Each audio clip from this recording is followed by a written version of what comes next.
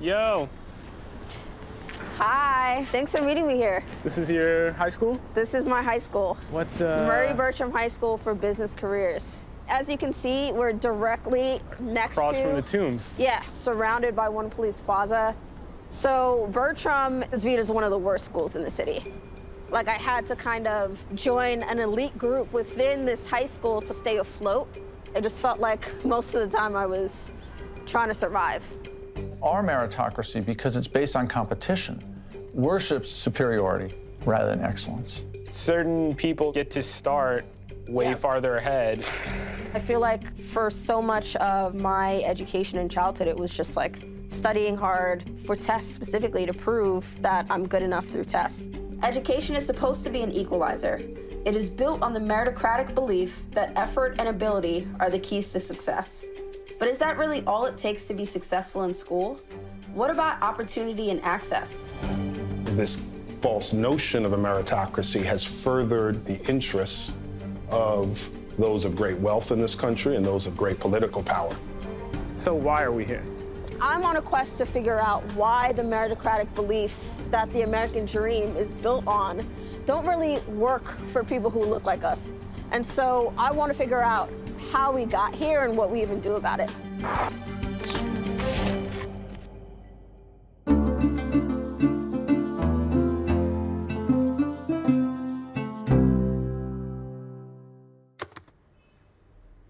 Halls of Hell at New York's worst high school. This is a headline about my high school, published in March 2012. This headline is super dramatic. Just a little dramatic. How did you end up at Murry Bergtraum in the first place? So I had a pretty high GPA in middle school. It was the selective middle school that I had to test to get into.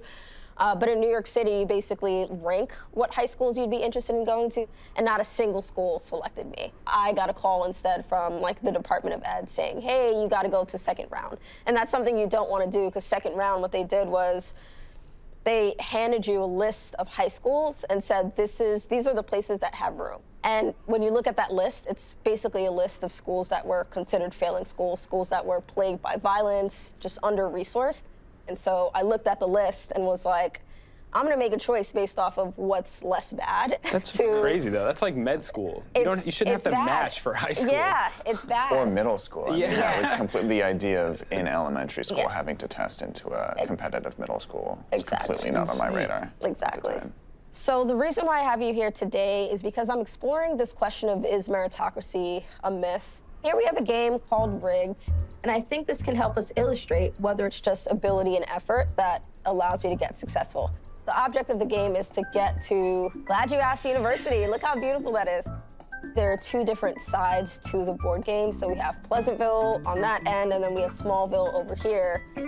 So I'm going to have you pull a card to determine essentially what your fate is. Are you guys ready to play? I'm ready. All right. My card says home. You come from a two parent middle class household. Action. Move two steps forward at Pleasantville. Your mom is a food service worker and your dad is a cab driver. Go start at Smallville. You come from a low-income household, and I start from the start at Smallville. Both of my parents are lawyers, and guess how far I get to move on this path? I get to move five steps forward at Pleasantville. One, two, three, four, five. You've been selected for the honor roll. Advance three steps. So you got an opportunity. You have won a scholarship for being athlete of the year. You gotta be kidding me. He did not go to pre-K, pay $15,000 and skip a turn? Bill de Blasio, where are you at? I'm already almost You're cooked. Serendipity. Your teacher recommends you for a gifted and talented program that you test into. Collect $10,000. You inherit $40,000 from your distant uncle. Take the next ladder. Oh my God. I'm enjoying this ride. I can tell who designed this game.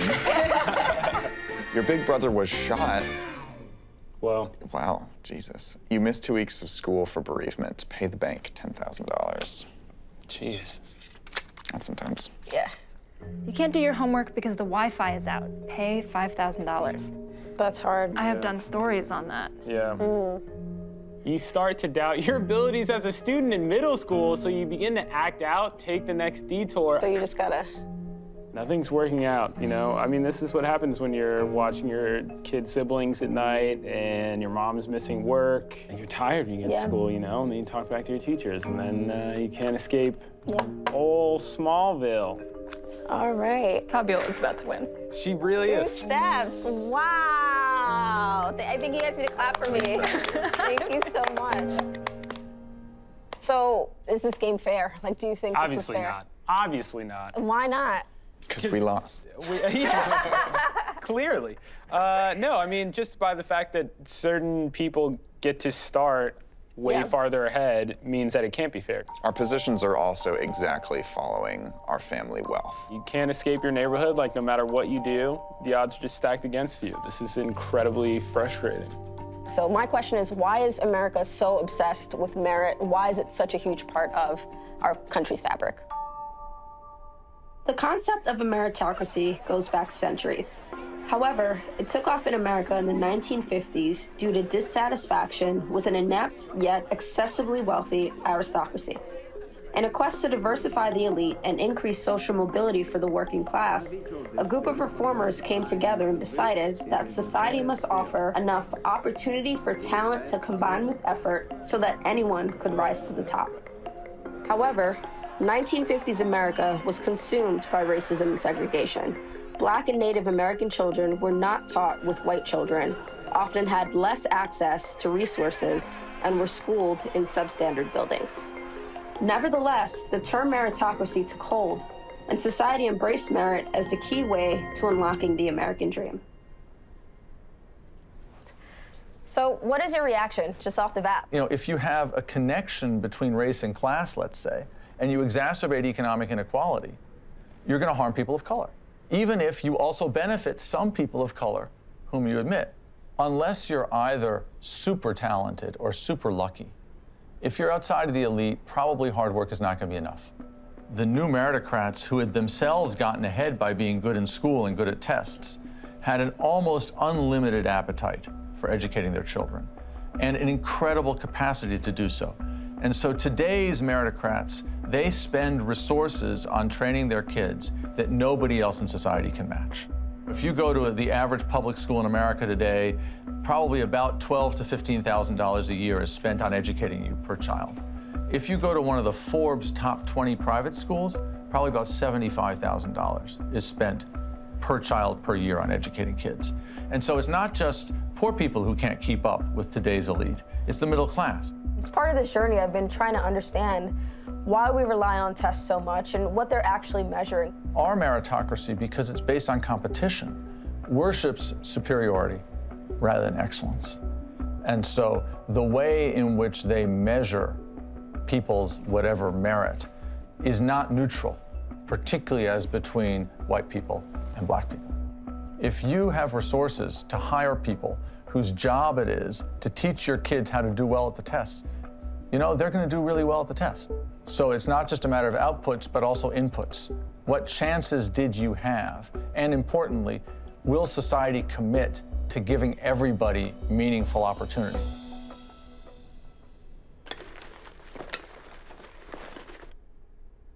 How many tests do you think the average American kid takes between grades K through 12? Well, I have a terrible memory, but it makes sense to me that we probably took maybe two a year. So from pre K to senior year, it would have been 28. Ooh, okay, good guess. But I regret to say that it is not that. It's actually 112. No way. Yeah. Test taking is a specific skill that is not like anything else we do in Yeah. our lives, and I really question how much it transfers to actual like things you need to succeed as an adult. So I want to explore the tests that we took growing up. I feel like this one gets overlooked because it's not mandatory, but G&T, gifted and talented, are you familiar with that? I am. Acronym? Yeah, I mean, we didn't call it that in Arizona, though. We had a program in elementary school called Project Potential. Um, These names are so bad. Like as I'm older, thinking about these names, I'm like, they weren't trying to hide what their motives were. No. Like it's like this is what it is. Yeah, the teacher would refer certain students for testing, which uh, in retrospect gives a lot of power to that teacher. You're right. A 2016 study found that a teacher's race and racial bias consistently affected how they interpreted their students' behaviors or abilities and who they would recommend for a gifted program. Additionally, black students are more likely than their white peers to receive suspensions, be excluded for greater periods of time, and be disciplined for less serious offenses. And we see the same kind of bias in testing with the SHSAT. In New York City, the SHSAT was the test that you had to take in order to get into a specialized high school. If you can't pass this test, sorry, you can't like go to one of these top schools. So Stuyvesant, New York City's most selective public school in 2019, out of a class of almost 900 students, only seven black kids got in.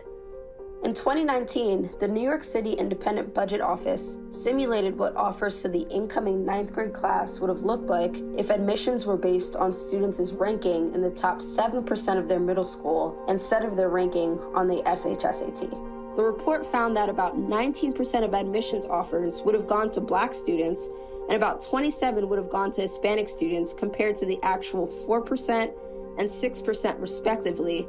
It seems like testing doesn't happen in a bubble, right? It depends on how much money your parents have. It depends on where you live. All of these things impact what kinds of resources you're able to access inside and outside of the classrooms. And I think the one that hasn't really entered our conversation yet is the SAT. Ah, yes. Yeah. Did you know that the SAT was founded by a guy who supported the eugenics movement? No, that's deeply disturbing. Yeah, it's very disturbing. This is data straight from College Board, which administers the SAT. In 2015, 1.7 million students sat for the SAT. Hmm. What stands out probably the most is for black test takers, we see the lowest scores across the board and the lowest in writing. And it's not just how well you prepare for this one test, but how well your entire education has prepared you for it. And we know that the schools are not equal. For me, I was fortunate enough through a program called Legal Outreach to take an entire summer of SAT prep course. Reflecting on that opportunity, I was like, wow, I had to apply again to get into that program. Hmm. You know, I may have a 95 GPA, but these programs kind of helped me understand how to play the game of the system. So how was the test for you? The test, I, I actually, I think because of the prep, I enjoyed taking the SAT with like reading and writing. Like I did You're a really full well. nerd. Yeah, I'm just like into that kind Enjoy of thing. testing. There is one specific like story that I want to get into that I think helped shaped my idea of ability and, and what it means to feel special through the system. My sister Grace, who's two years older than me, got into a program in New York City called Prep for Prep. That program basically identifies the high achieving, low income students across the city and says, we want to help train these students by giving them extra coursework to prepare them for some of the best private schools in America. And so Grace ended up going to Exeter, then got into Princeton. So this is her Princeton diploma. Thank you, Grace, for letting me have this here today. My sister and I did very well. Like, we are low income kids, grew up in Brooklyn, New York, and clearly meritocracy to some extent has worked for us because we were able to take advantage of opportunities like Prep for Prep, like Legal Outreach, like the Posse Foundation, which, by the way, gave me a full tuition scholarship to Dickinson. But I'm conflicted because it's like, I'm the exception. Like, should I be up here talking about this? Should I be talking about my sister when we are the exceptions? I wish that there were a way to actually level the playing field so that everyone gets help, everyone gets opportunity.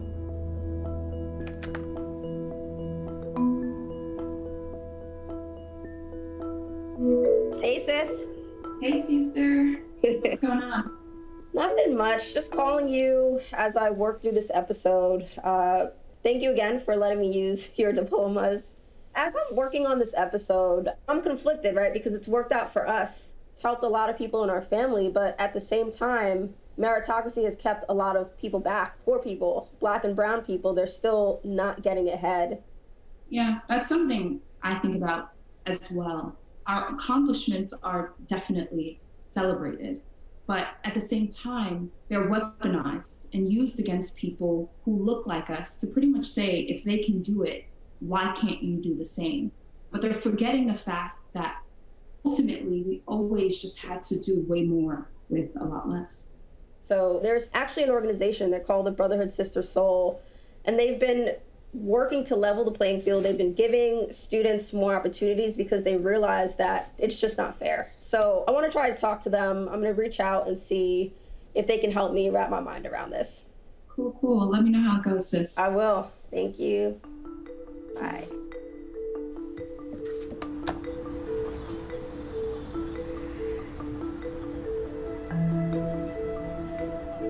Uh, you see our college pendants up on the ceiling, which is the universities and colleges where our young people are studying. And, you know, it inspires the next generation that comes in to see, you know, what are opportunities. We take them on college tours as well, but this is just a daily reminder.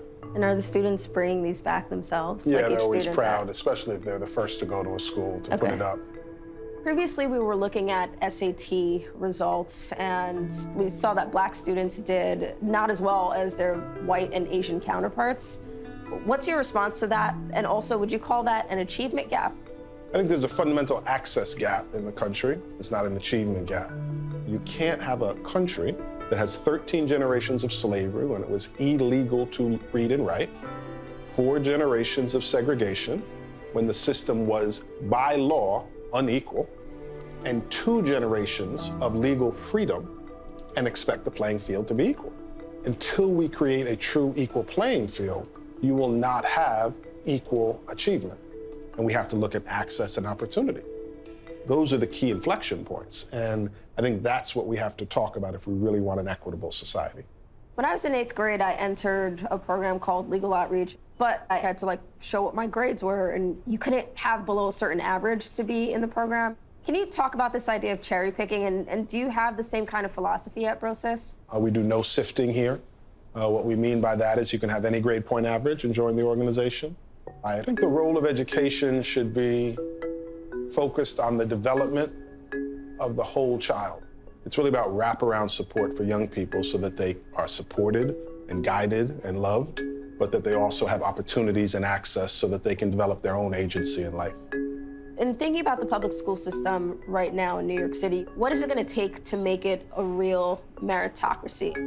New York City has a public school system that is a caste system, where you have elite schools, good schools, mediocre schools, and horrible schools. And where you go depends on your zip code or the access, either economic or cultural, of your family. One of the reasons that the public school system has been allowed to flounder for so long is that it's overwhelmingly serving low-income black and brown kids. We have students in the New York City public school system still today who don't have access to computers and technology at home, who don't have access to Wi-Fi at home. The school system has not been able to provide that. So we at Brotherhood Sister Sol has provided that for all of our young people. So COVID is just accentuating all of these existing realities that were already here. And you see it in the educational system, you see it in the labor force, you see it in the housing situation as well. The nonprofit sector, which is a huge sector in New York, um, is expected to do the work that government is abdicating. Really, at the end of the day, we have to change the entire narrative of what is acceptable in this country, what true opportunity, equity, and justice looks like.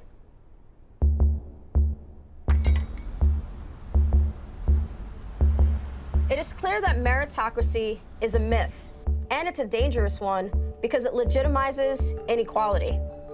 Education was supposed to be the driving force behind social mobility and racial integration. It was supposed to help us all achieve the American dream. But until America can give us all an equal chance at success, that includes an equal starting point and equal resources, America can never be a meritocracy. As long as we define merit according to the whims of winners, we'll always fall short. What's always been missing from the equation are opportunities and social good.